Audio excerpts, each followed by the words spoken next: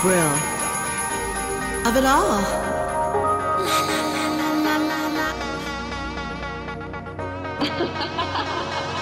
tell me, tell me, fairy god babe.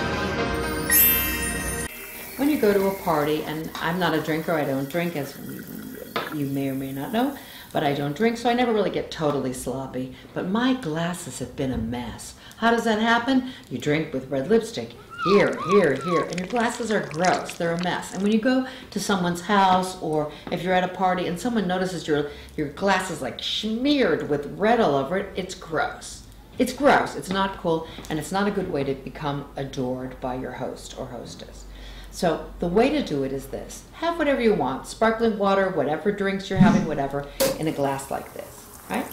Now, what you do is you drink from one spot, first up. Hmm?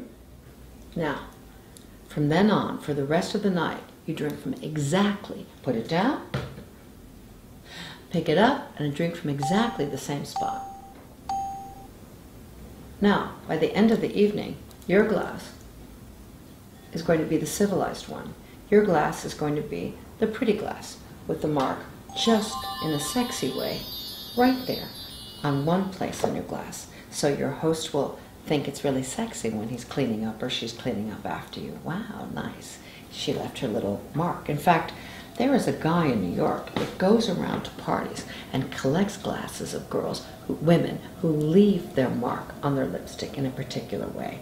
And he has a collection at home, and my glass is in there somewhere.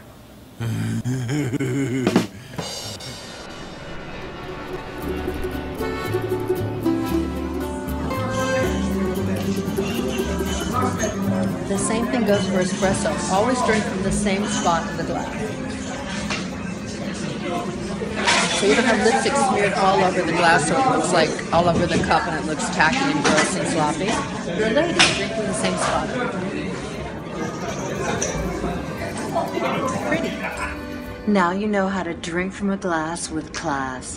Whether you're in New York City with a gorgeous glass of champagne or in Florence, Italy enjoying an espresso, you know just what to do.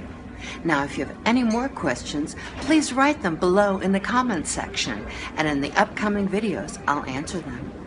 Ciao for now, and don't forget, subscribe.